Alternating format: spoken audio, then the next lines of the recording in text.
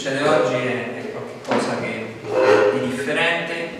Stiamo, stiamo aspettando eh, che ci viene in collegamento con, con, eh, con Trastevere e vedremo, vedremo la predicazione di, di, di Trastevere, eh, di una persona che già conosciamo, Marvino Senamo.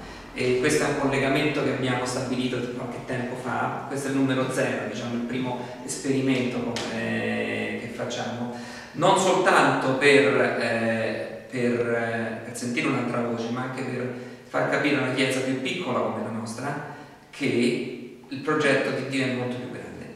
Eh, la chiesa di Trastevere è una chiesa con cui noi abbiamo un grosso rapporto, un, eh, siamo un, po' stati adottati spiritualmente eh, perché sappiamo che ci sono persone che, che stanno pregando per noi, per cui è, un, è una felicità avere questa opportunità che poi vedremo su che base eh, quante volte al, all'anno faremo questa diretta. Adesso sto vedendo che sta uscendo tutta la scuola domenicale da, da, da, eh, da Trastevere e, c'è la, la pastora eh, che, è davanti per cui tra poco probabilmente ci daranno il collegamento. So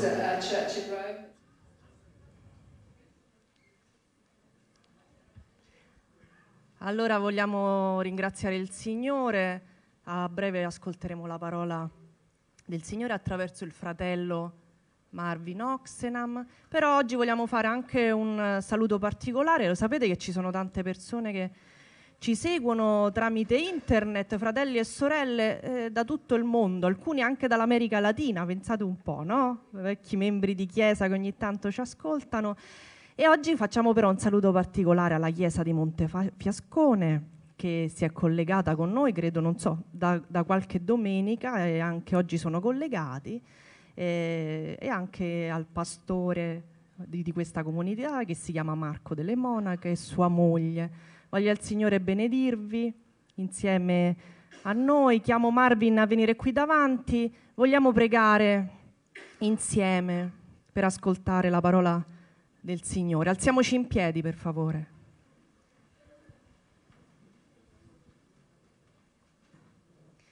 Signore nostro, noi ti ringraziamo immensamente perché la tua parola è vita, la tua parola cambia le nostre vite. Benedici Marvin questa mattina, fa che lui possa parlare per te, Signore, che il tuo spirito sia su di lui e che noi, Signore, possiamo mettere in pratica ciò che ascoltiamo. Te lo chiediamo nel nome tuo santo. Amen.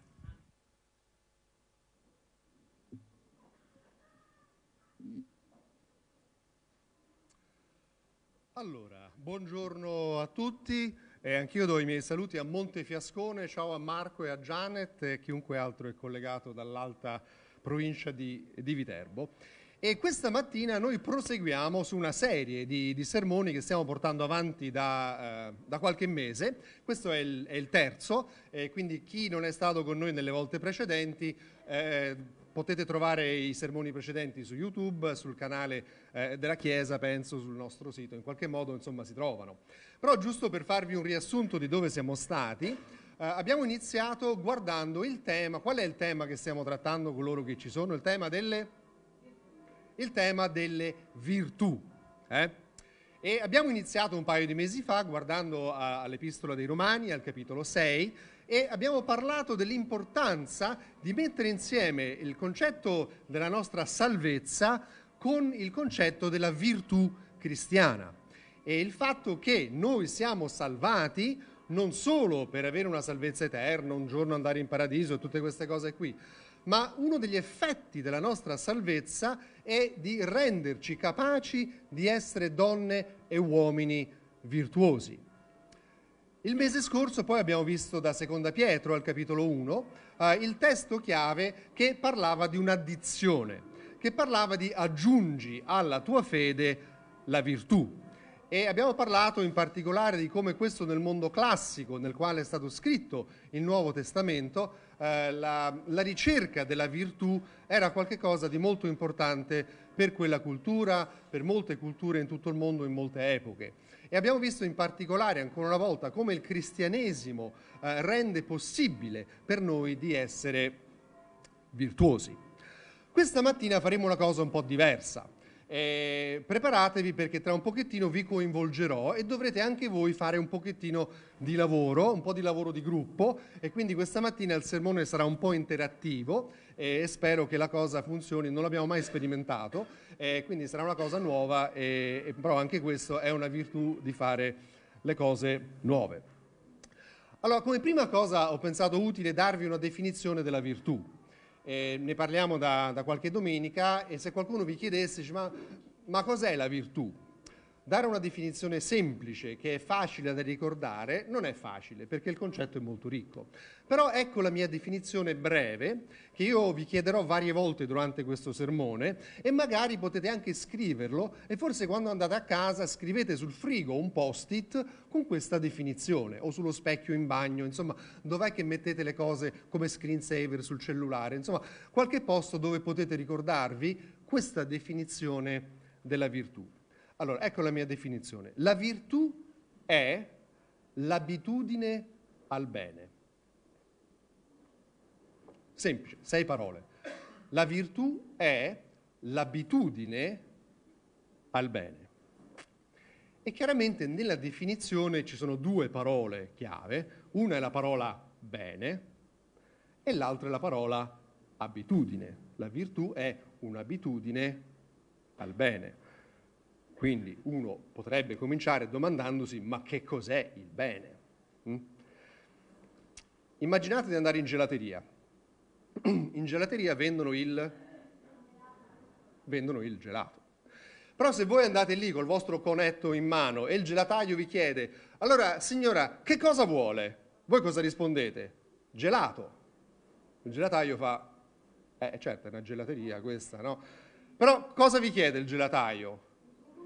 Che gusti vorrebbe, signora, sul suo cono? Che tipo di gelato vorrebbe? La virtù, il bene, è un po' come il gelato.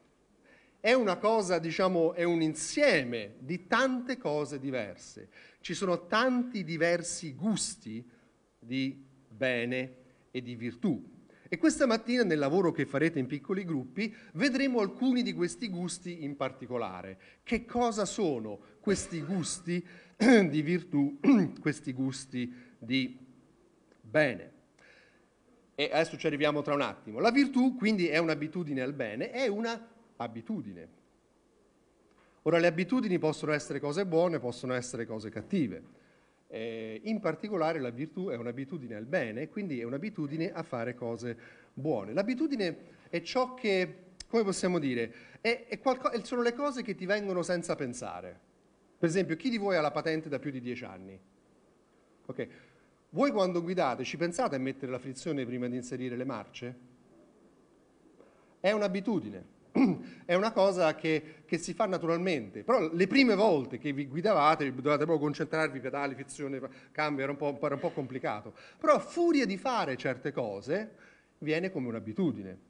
Oppure ai musicisti, uh, abbiamo alcuni musicisti che suonano la chitarra, quando voi dovete fare il giro di re, re, sol, la, ci pensate che dovete mettere le mani così, poi così e poi così? non state lì a pensare come devo mettere le dita per fare l'accordo del re, perché lo fate talmente tante volte che è un'abitudine che viene naturale. E così è la virtù. La virtù è un'abitudine al bene.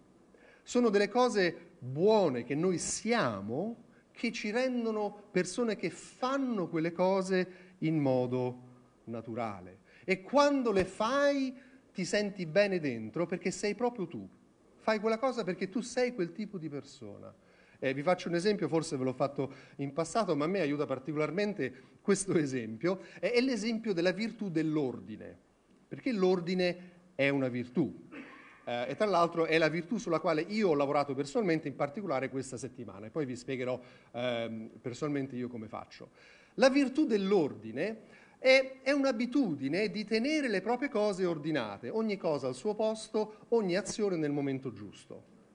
Uh, se tu sei una persona che ha sviluppato la virtù dell'ordine, E quando entri in una stanza disordinata, cosa, che tipo di emozione provi?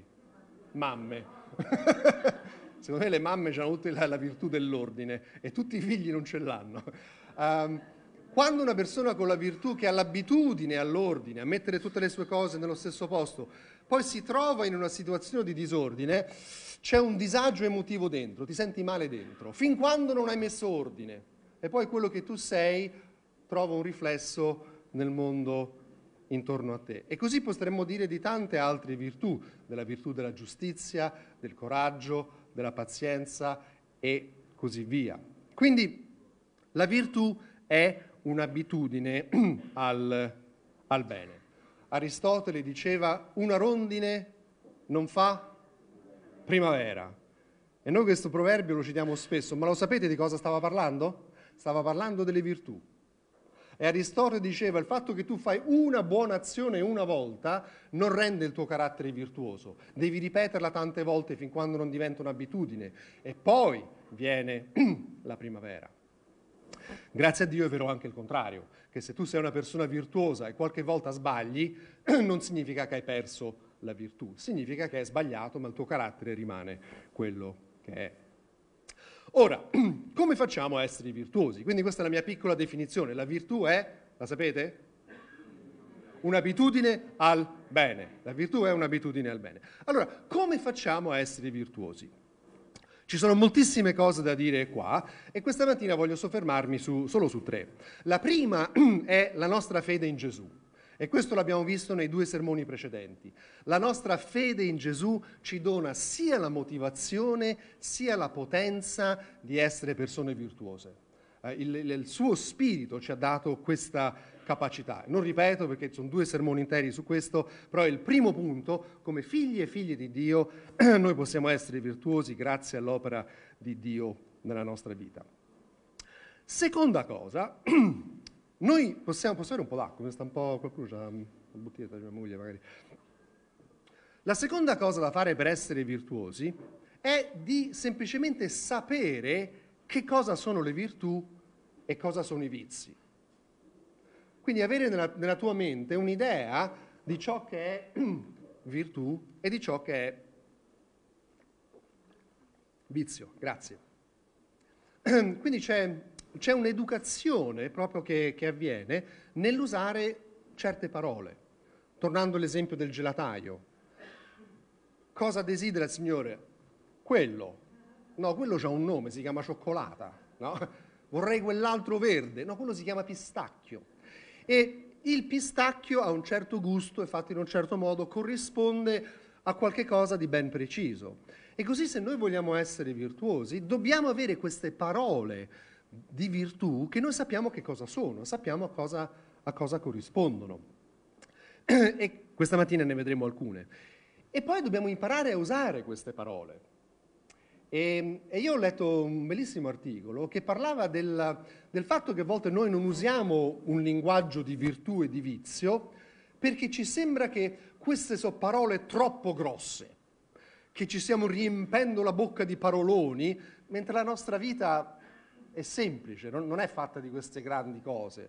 Allora, per esempio, no, la, la, parola coraggio eh, è, una, è, una, delle virtù, una delle, delle quattro virtù cardinali.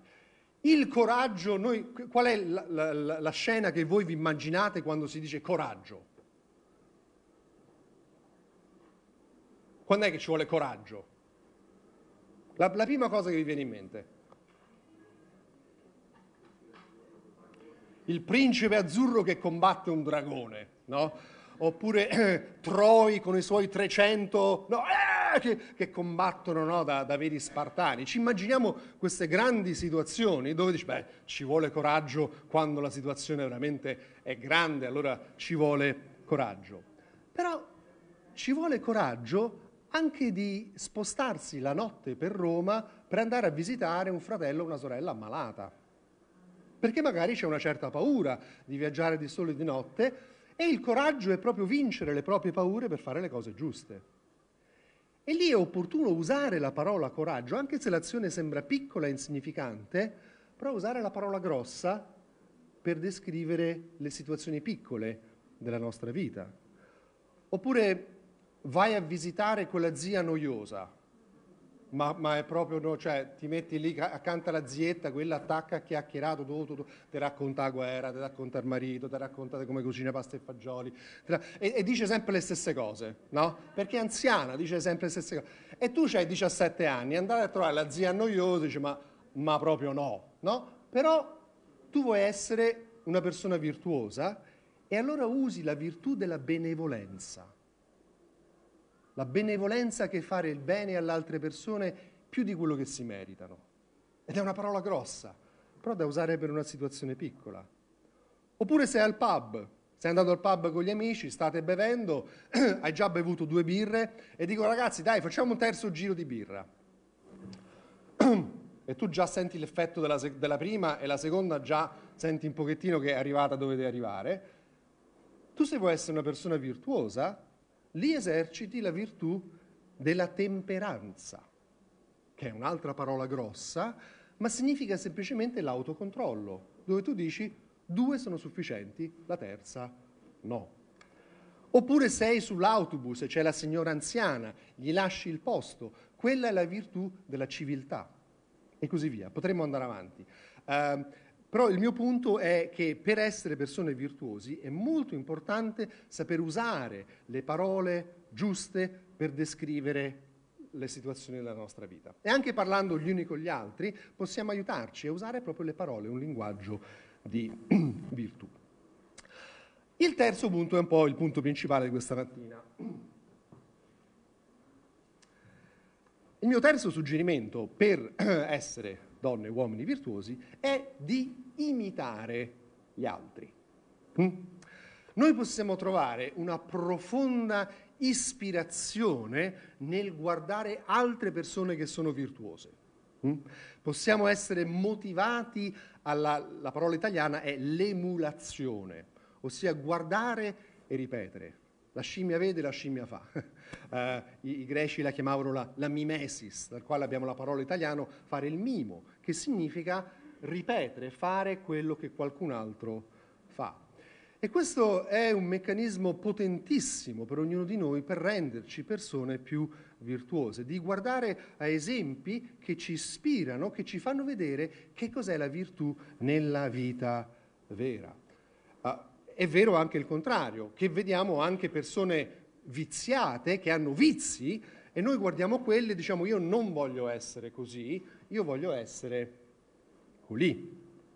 Quindi eh, noi, noi cresciamo in virtù guardando le persone intorno a noi, persone sia vive che persone morte, che persone finte. Adesso descrivo. Pensa a una persona viva che ha avuto un'influenza sul tuo carattere. Pensaci un attimo. Chi è una persona che dici quello o quella è stato un esempio per me? Pensato? Non dovete dirlo, giusto pensato? Sicuramente i genitori sono i primi, che ci piaccia o no, noi siamo la, la prima fonte di imitazione eh, dei nostri figli e noi che siamo grandi, molte delle cose che noi siamo, stiamo imitando i nostri genitori, purtroppo sia nei, nei vizi che nelle virtù. Però ci sono anche, quindi oltre alle persone vive, quindi anche in chiesa, noi siamo tutti un esempio gli, uno, gli uni per gli altri, insegnanti, uh, specialmente voi insegnanti, insegnanti della scuola domenicale che adesso non ci sono, hanno un ruolo fondamentale, oltre che a insegnare i bambini, a essere proprio un esempio di virtù per i bambini. Però anche le storie, storie di persone finte. Questo, questo è un libro bellissimo, si chiama The Book of Virtues, il libro delle virtù. E questo è semplicemente una raccolta di piccole storie che sono storie di virtù.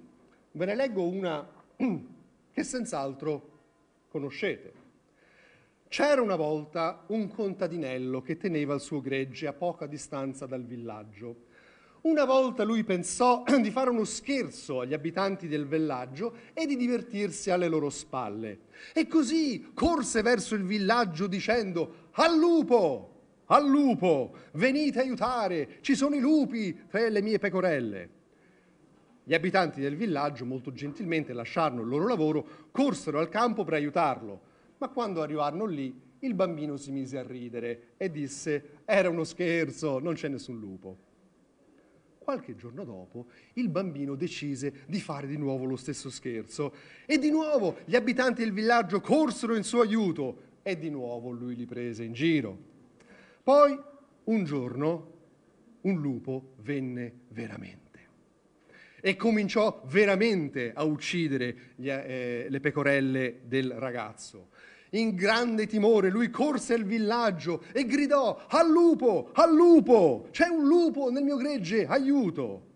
Gli abitanti del villaggio lo udirono, ma pensarono che si trattasse di nuovo di un trucco e nessuno gli dette attenzione, nessuno andò ad aiutare e il pastore perse tutte le sue pecore.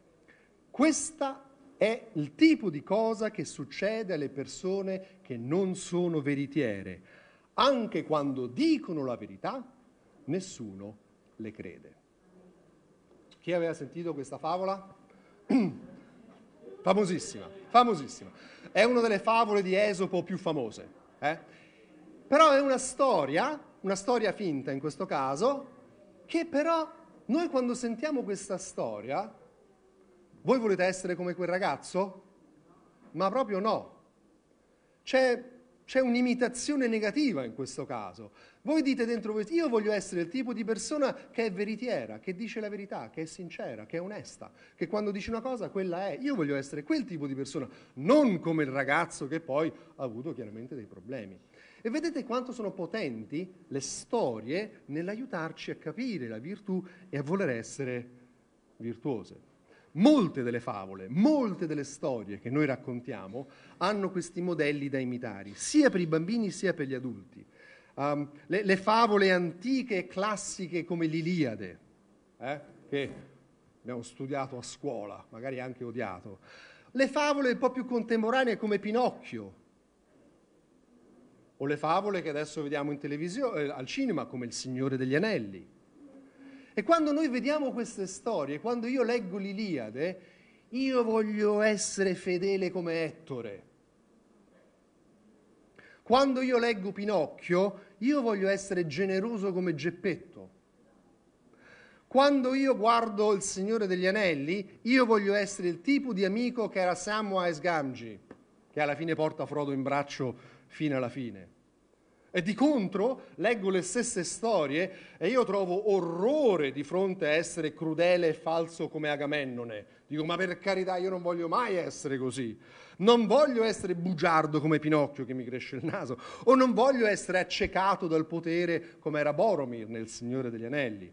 E così via. Abbiamo queste storie che ci ispirano a essere virtuosi e a evitare il vizio. Questo tra l'altro succede molte volte che andiamo al cinema. O adesso che guardiamo Netflix o dovunque guardiamo le nostre serie. Molte di queste storie che noi vediamo al cinema possono essere un'ispirazione. Uh, tutti vogliamo essere impavidi come il Capitan America, giusti come Schindler in Schindler's List, leggiamo le cronache di Narnia e non vogliamo mai essere attaccati al piacere come Edmund, oppure guardiamo il telegiornale e tutti vogliamo essere quel giovane cinese in piazza Tiananmen davanti ai carri armati a resistere all'ingiustizia. E vedete, la nostra vita è piena di storie, di vizio e di virtù che ci aiutano a voler essere e a essere il tipo di persona che siamo. E, parentesi, genitori, se avete figli piccoli, la cosa migliore che potete fare per loro è leggergli le storie. Leggete le storie. Non li lasciate col tablet, non li lasciate con lo schermo, leggete le storie e tra parentesi fatevi vedere con dei libri fisici in mano dai vostri figli, perché loro imiteranno voi. Se loro vedono che voi amate i libri, anche grossi così, loro saranno invogliati anche loro ad amare i libri dove tante di queste storie sono contenute. Allora, non abbiamo ancora aperto la Bibbia. Ci, do, dove c'entra la Bibbia in tutto ciò? Se siamo sinceri, a volte noi fatichiamo un pochino a leggere la Bibbia, eh? se siamo proprio sinceri. Uh, prendi la Bibbia, inizi, inizia a pagina 1, cioè, vabbè, Genesi 1, 2, 3, no? poi vai avanti, dopo finisce Genesi, no? poi, poi, comincia Esodo, dice, vabbè, poi arriva il Levitico, sai bene che fa, e poi, poi comincia a leggere di questi profeti, Ezechiele, Sofonia, questi nomi impronunciabili, cioè non, non sempre sappiamo bene come leggere la Bibbia. Io vorrei darvi questa mattina un modo di leggere la Bibbia, ce ne sono tanti, uno molto semplice ma molto utile, che è di leggere la Bibbia per cercare le storie. Mm? Quindi nel, magari nella tua lettura della Bibbia quest'anno, che io mi auguro che ognuno regolarmente legga la Bibbia, non, non andate a leggere tutto quello che c'è scritto, cercate soltanto le storie e se trovate un pezzo che non è una storia saltatelo e andate a trovare un'altra storia. E nel leggere le storie cercate di pensare qual è la virtù o qual è il vizio di cui questa storia mi sta parlando. Quindi in qualche modo voi leggete la Bibbia cercando gli eroi e cercando gli antieroi. Mm? Perché di fondo la Bibbia è, è diversa dal Corano. Il Corano è un insieme di regole, di precetti, di cose che bisogna fare. La Bibbia fondamentalmente è una raccolta di storie. Sono tantissime storie, tantissimi personaggi nella Bibbia. Quindi quello che adesso faremo, io ho qui dei bigliettini, se qualcuno può venire da sopra, perché ho i bigliettini anche per voi sopra, perché adesso tocca a voi.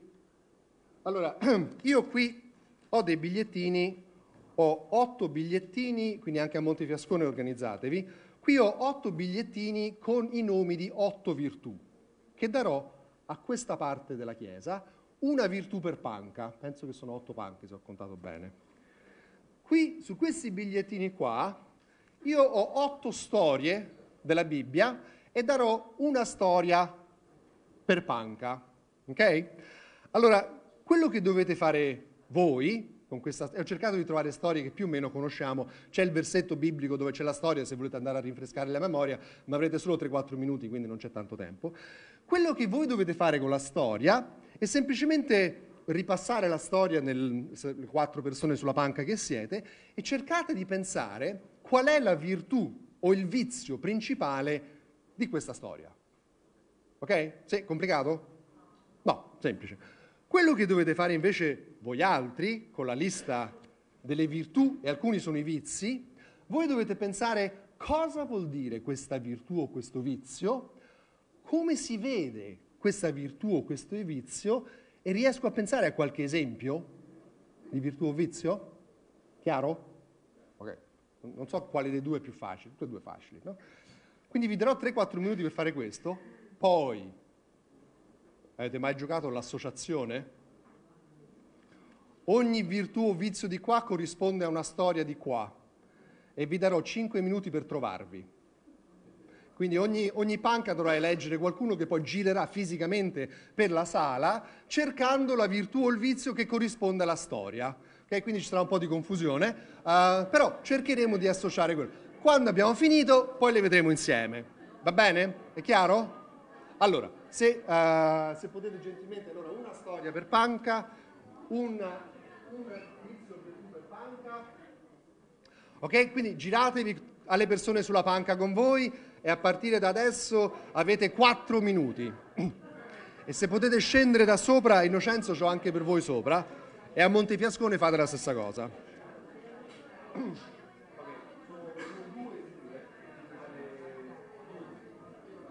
Quattro gruppi,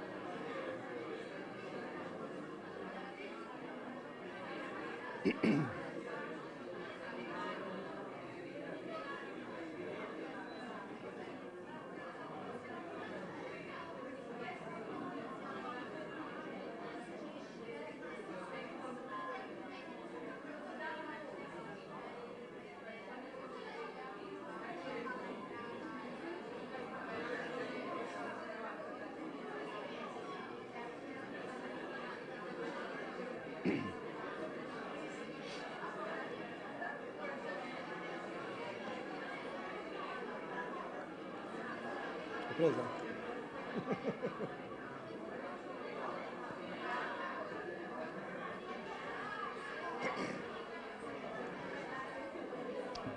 Ancora un minuto.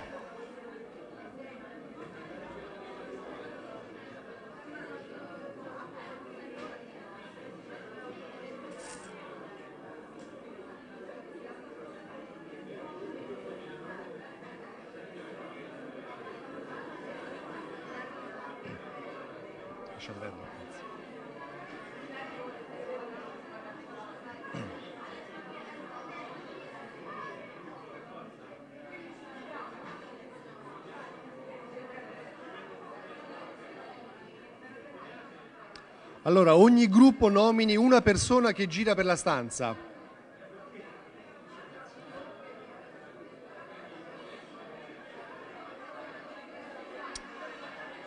Allora, pronti? Via! Allora, cercate di associare la storia con la virtù, via!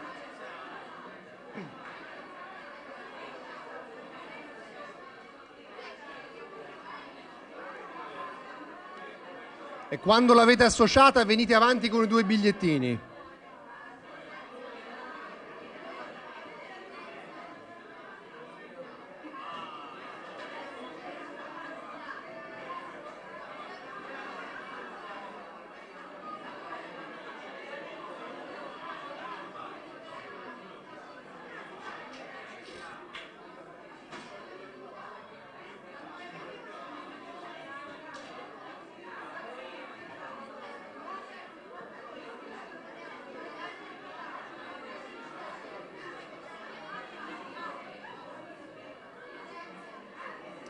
Ancora 30 secondi.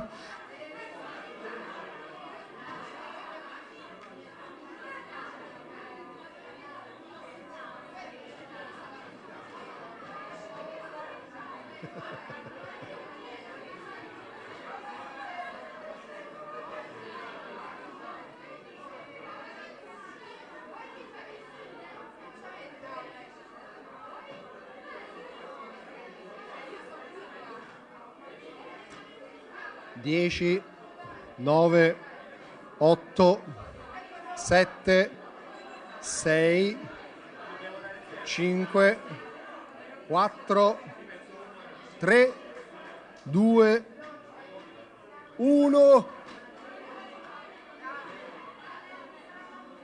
Ok, tempo scaduto. 3 su 8, mica male. Ok. Allora, allora, se ci vogliamo riaccomodare, adesso riconquistare la sala la vedo dura. Lascia così.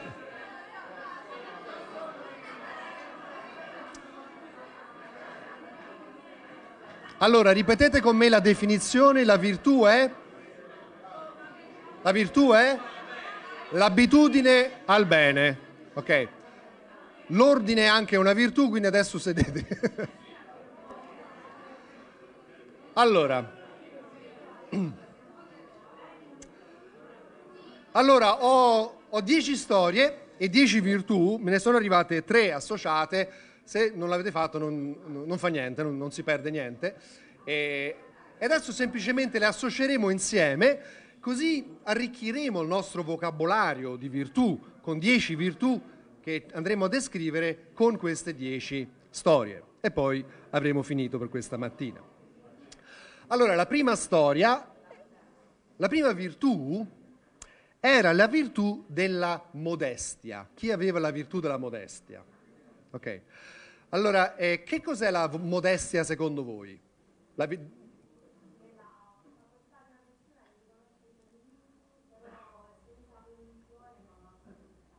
Molto bello. Quindi è simile all'umiltà. Eh, la modestia, una bella definizione, è di saper portare le nostre abilità e i nostri successi senza orgoglio e senza spirito di ostentazione. Parolona questa alla fine, no? Però la modestia no, non è dire ah ma io non so fare niente. La modestia è dire no, io so fare delle cose.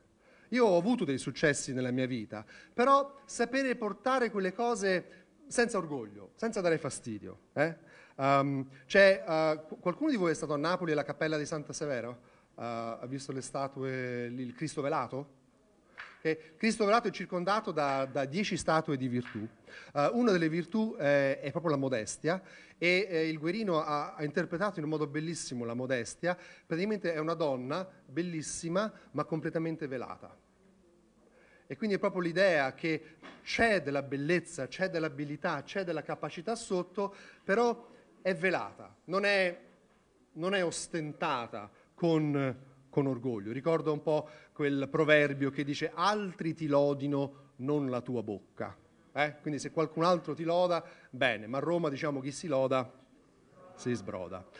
Allora, qual è la storia che più si avvicina alla modestia? Questa non era facile, eh? ammetto, era una storia un po' secondaria, forse non la conoscevate.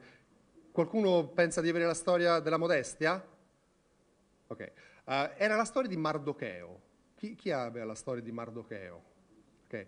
Allora, Mardocheo è nel libro di Esther, potete andare a leggere, e lui era lo zio di questa regina, e praticamente lui ha fatto tutta una serie di cose molto importanti per il re, però non era mai stato riconosciuto. A un certo punto il re fa, dice, ma questo Mardocheo, per tutte le cose belle che ha fatto, ma non l'abbiamo mai riconosciuto? E così l'ha preso, l'ha fatto cavalcare, le ha dato gloria, eccetera, eccetera. Poi è tutta una storia complicata. Però Mardocheo è proprio una storia di modestia. Lui aveva fatto delle cose molto... aveva addirittura salvato la vita al re, però nessuno lo sapeva. Non, non si era messo in mostra, no, andare su YouTube, su Twitter, su cose, oh io ho salvato la vita del re, eh, quanti like mi date? No, era stato modesto. Seconda virtù, la castità. Chi aveva la castità? Ok, la castità. Allora, secondo voi che cos'è la castità?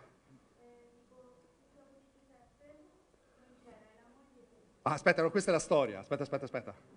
Alla storia ci arriviamo. Che cos'è la castità prima? La? L'astinenza. Allora, la castità in particolare ha a che fare con la sessualità. Hm?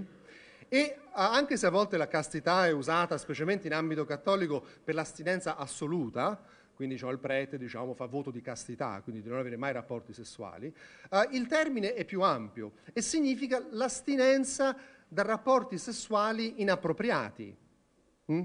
Quindi non è l'astinenza totale dalla sessualità, ma da, dalla sessualità che è fuori luogo, che, che, ha, che, è fuori dal suo contesto naturale, che è quello del matrimonio. Okay? Allora, eh, non è astinenza assoluta, è la temperanza nel gestire la propria sessualità.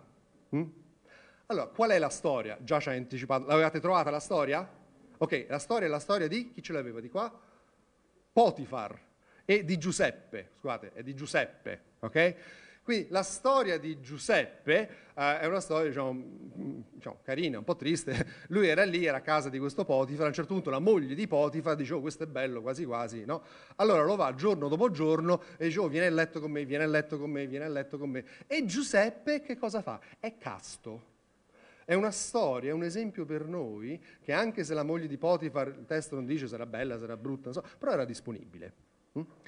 E Giuseppe dice no, no e no. E alla fine lui deve fuggire fisicamente via, lei acchiappa il vestito, glielo strappa, ma lui proprio scappa fisicamente via. A volte il modo di esercitare la virtù della castità è proprio un, uno spostamento fisico, proprio di fare qualcosa col tuo corpo, lo porti da un'altra parte, fai fare ai tuoi occhi qualche altra cosa, vai in una stanza diversa, vai non andare in quell'appartamento, ma vai piuttosto da un'altra parte. Quindi storia bellissima di castità nell'esempio di Giuseppe che resiste alla moglie di Potifar.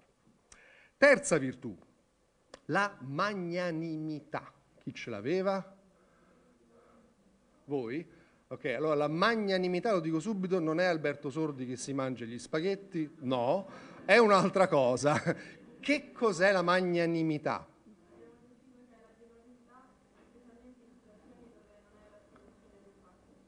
Ok, hai cercato su Google, vero?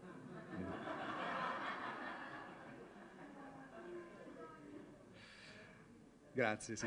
Giusto. La, la magnanimità è, è una nobiltà d'animo e di azione di fare più bene alle persone di quello che si meritano. È la zietta noiosa. dove tu sei magnanime come nipote, nello stare lì a ascoltare per la sesta volta la sua storia. ok? Quindi è fare il bene a una persona anche se non si merita quel bene, tu sei magnanime e ne fai di più di quello che la persona merita. Qual è la storia che illustra la magnanimità? L'avete trovata? Non l'avete associata? Allora, chi aveva la storia di Gesù che parla a Tommaso? Ok, que- quella storia di Gesù che parla a Tommaso, praticamente ricordate, no? Tommaso dubitava, ah se io non tocco, io non vedo, io non credo. Gesù appare a Tommaso e che cosa fa? È magnanime. Perché Gesù poteva benissimo dire a Tommaso, Tommaso, ma sta scherzando? Cioè mi devi toccare? Guarda, gli altri hanno avuto fede senza toccare, guarda che cioè, non, non, va bene questa cosa, no? Adesso ti faccio la predica, adesso ti metto sotto disciplina, adesso qua e là, perché, perché tu non devi fare... Invece Gesù è magnanime. Fa più bene a Giuseppe, ah, scusate, a Tommaso di quello che Tommaso meritava. Meritava un rimprovero e Gesù invece apre il costato, lui mette la mano dentro, tra l'altro ferita aperta, non è proprio una cosa senza dolore, eh? quindi Gesù soffre anche per la sua magnanimità verso Tommaso. Andiamo avanti. La quarta virtù è la virtù dell'amicizia. Chi aveva la virtù dell'amicizia? Voi, ok? Che cos'è l'amicizia? Ah, bellissimo. Ok, l'insieme è l'espressione dell'insieme di tutte le virtù. Ci sono alcune virtù che sono un po' così, anche l'amore, non l'ho messo, ma l'amore è anche un po' così, no? Ci stanno tutte. Um, in, in, particolare, l'amicizia è... Um, io, io, ho trovato una definizione bellissima che dava Aristotele. E lui diceva che l'amicizia è possibile solo dove c'è il bene. Cioè l'amicizia, cioè l'unica cosa che lega due esseri umani insieme è il bene la virtù. Possiamo essere legati dall'affetto, possiamo essere legati da un senso di utilità dell'altra persona, ma quello che rende un'amicizia profonda e solida è condividere il bene. Quindi condividere uh, delle virtù che si sovrappongono. Io sono come te.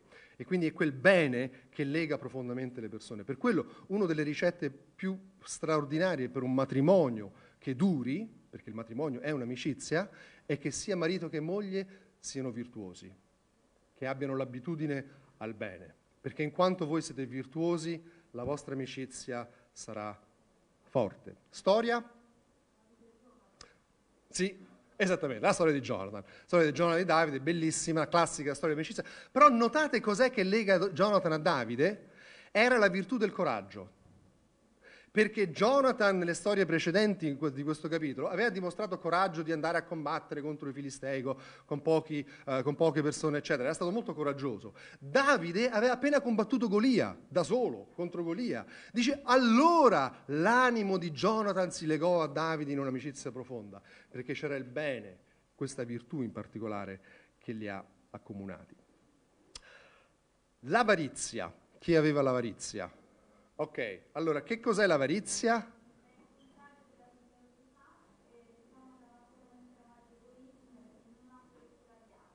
Bellissimo. Ok, quindi in questo caso qui abbiamo un vizio, non è più una virtù, è il, è il vizio, è, è, ben detto l'opposto, la virtù dell'avarizia è la virtù della, della generosità. Quindi l'avarizia in particolare ha a che fare col denaro, con, con le cose materiali, col volerle per se stesso, mm, piuttosto che voler darle agli altri. La storia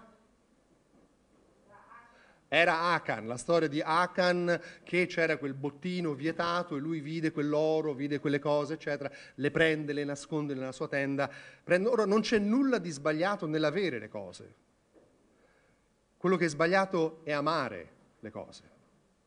La Bibbia dice che l'amore del denaro è la radice di ogni male. Non dice il denaro è la radice di ogni male l'amore del denaro. Prendere e volere tenere per te quello che non ti spetta, quello che è più di quello che ti spetta. Quello è il male. E nella storia di Akan poi c'è stata una conseguenza, tra l'altro, terribile. Allora, ce ne sono rimaste quattro. Il, vi- detto, il vizio della pigrizia. Chi ce l'aveva? In fondo, cos'è la pigrizia?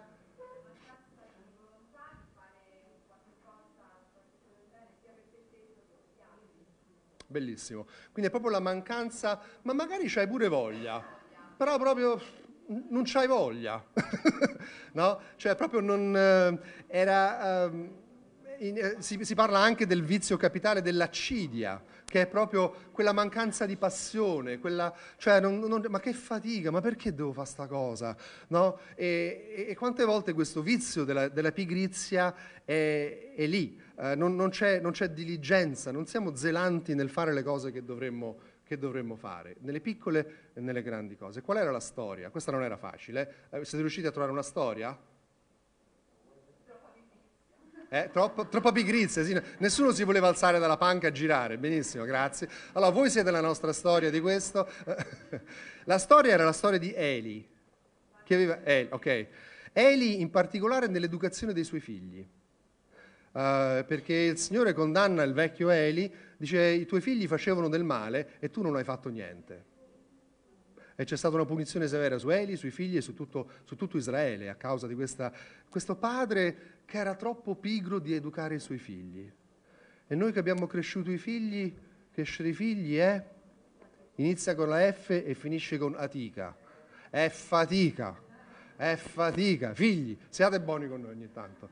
È fatica, quando noi ve lo diciamo una volta, poi due volte, poi tre volte, alla quinta volta ci abbiamo voglia. Vabbè, fa come ti pare, no? E Eli aveva fatto così, fai come ti pare. E quindi per la sua pigrizia ci sono state conseguenze terribili.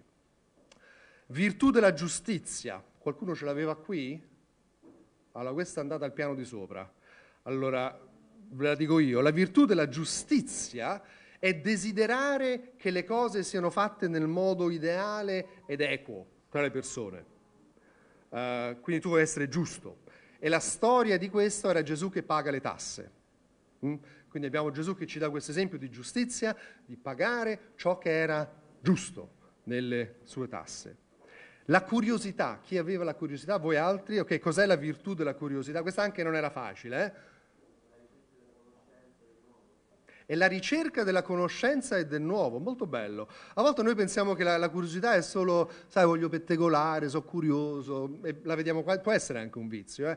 però nel senso buono, la curiosità è voler sapere. E, e sapere di non sapere ed essere curioso di, oh, mazza quel bel libro grosso che visto, chissà che ci sta dentro quasi quasi me lo, me lo, compro e me lo leggo. È una delle virtù intellettuali, perché ci sono anche virtù intellettuali, voler sapere ciò che non si sa, essere aperti a cose nuove. La storia, Nicodemo, chi aveva Nicodemo?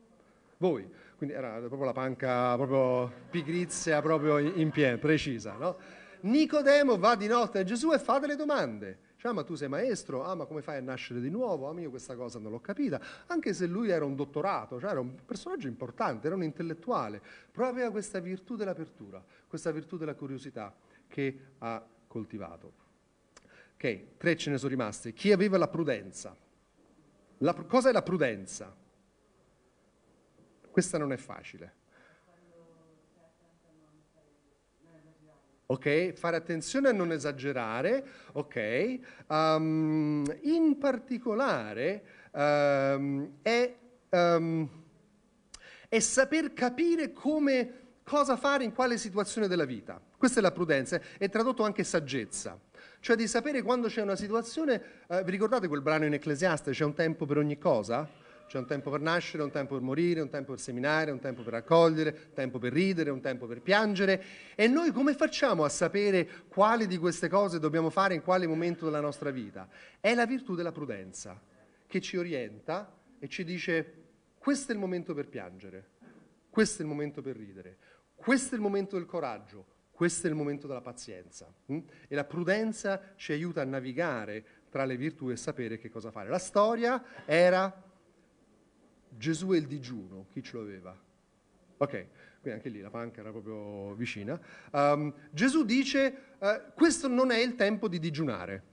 Dice poi verrà il tempo per digiunare, ma questo non è il tempo. Quindi c'era proprio la prudenza di capire c'è un momento per delle cose e poi altri momenti in cui le cose non vanno bene. L'invidia, penso che è andata su l'invidia, uh, l'invidia è uh, volere essere violenti verso gli altri perché vogliamo le cose loro. E qui la storia era Erode che fa uccidere i neonati di, di Betlemme, una storia chiara, no? era invidioso no, del suo potere, lo voleva tenere e quindi lo ha portato alla violenza. E l'ultima era la virtù della costanza. questa so che era in stanza. Allora, che cos'è la costanza? Fare qualcosa più volte, bellissima. Sul frigorifero mettete pure questo. La costanza è fare qualcosa più volte. La, la, costanza è una di quelle virtù fondamentali perché è la costanza che trasforma le rondini in primavera. È la costanza che ti fa ripetere il bene per farlo diventare un'abitudine, perché la virtù è un'abitudine al bene. E la costanza è quella virtù che ci rende costanti, che trasforma una buona azione virtuosa in un carattere virtuoso. Uh, la costanza è ciò che ci tiene sul sentiero della virtù. E l'esempio di questo era Paolo, chi aveva Paolo che corre la corsa? Ok, quindi Paolo dice io corro la corsa con costanza fino alla fine, eh, non smetto a metà, arrivo fino in fondo. Quindi questo è il messaggio di questa mattina. La virtù è l'abitudine al bene. Leggiamo la Bibbia cercando che cosa? Cercando delle storie di vizio e di virtù. Potreste anche tenere un quadernino no? per il prossimo anno o due leggete la Bibbia, tenete un quadernino dove semplicemente scrivete la storia e sottoscrivete io voglio essere come Giuseppe, non voglio essere come Acan, voglio essere come così. Quindi permettiamo che queste storie ci ispirino, modellino il nostro carattere e concludo con l'applicazione che in questo caso è proprio una app. Eh, io vi ho detto che io sto usando qualcosa personalmente per aiutarmi a essere costante nelle virtù. C'è un'app che si chiama Ben's Virtues, le virtù di Ben. Adesso ve la faccio scaricare, mica è già partito. Uh, è, è, un'app gratis, è scritta in inglese, però c'è scritto poco, quindi diciamo, potete benissimo con Google Traduttore tradurre. Praticamente si ispira alla, alla, storia vera di Benjamin Franklin, statista americano, che lui voleva lavorare su se stesso, sulle virtù.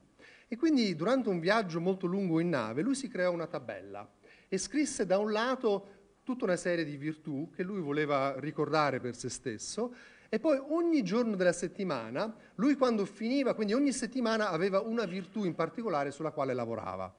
E ogni giorno, se lui era riuscito a, a, mantenere quella virtù, lasciava la scatolina in bianco.